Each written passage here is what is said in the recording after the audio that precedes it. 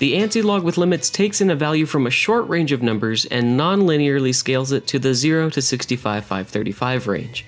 The anti-log with limits uses the speed key a log L and can also be added to your program by expanding the analog operations folder under logic symbols and then clicking and dragging the anti-log with limits over to the detail view. So the anti-log with limits takes in values between the lower limit and upper limit parameters.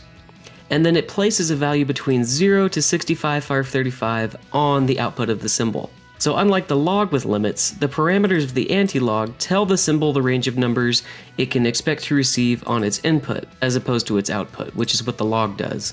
And when working with the anti-log with limits, the lower limit and the upper limit cannot be zero, which means that the symbol can accept an input value that's any number except zero. And the output of an anti-log scalar will always be greater than the output of an analog scalar with the same upper and lower limit, except at the endpoints. Let's build a quick example program, that way I can show you what I mean. I'm just going to add two analog scalars with I.O. limits. The first one is going to take the output of a slider on the X panel and scale it down to the 100 to 500 range. The output of this scalar is going to feed the inputs of the anti-log and the second scalar as well as one of the analog feedbacks on the X panel. The anti-log's upper and lower limits will be 500D and 100D, and then its output will be fed to the X panel. And the second scalar is going to scale the 100D to 500D range up to 0D to 65535. And the output of this scalar will also go to the X panel.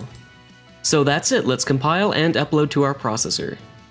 When the program boots up, all analog outputs are initialized to zero, but once we start moving the slider around, we see some magic happening.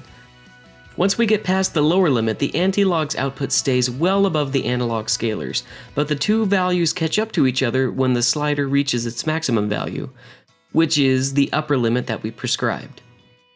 Then while we ramp the input value down from 500D to 100, the anti-log's output is still higher than the scalars, and the two eventually catch up with each other when the slider reaches 100 decimal. So when can you use the anti-log with limits? The easiest example is a speaker that takes a long time to get up to its maximum volume level. If you put an anti-log into the mix, it'll help make the speaker's output reach a maximum value at a more constant rate.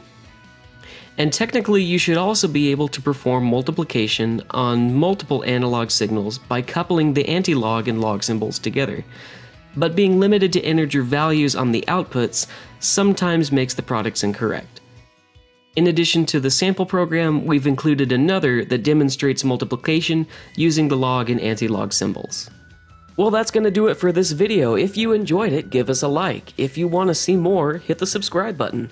And if you want to see something else in our videos, leave us a comment below or on our Twitter or Facebook or Tumblr or Instagram pages. Maybe MySpace. We might have a MySpace.